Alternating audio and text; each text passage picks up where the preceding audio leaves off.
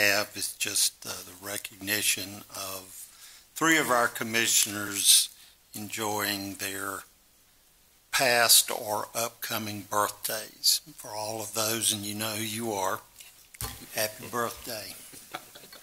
That's it, Mr. Chairman. Thank you, sir. All right. Any comments? Motion to adjourn. So moved.